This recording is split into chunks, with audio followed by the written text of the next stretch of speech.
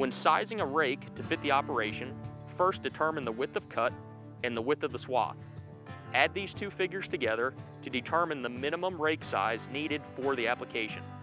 A New Holland H6830 disc mower with a cut width of about 10 foot and a swath width of roughly 8 foot would require a rake with a minimum working width of at least 18 feet.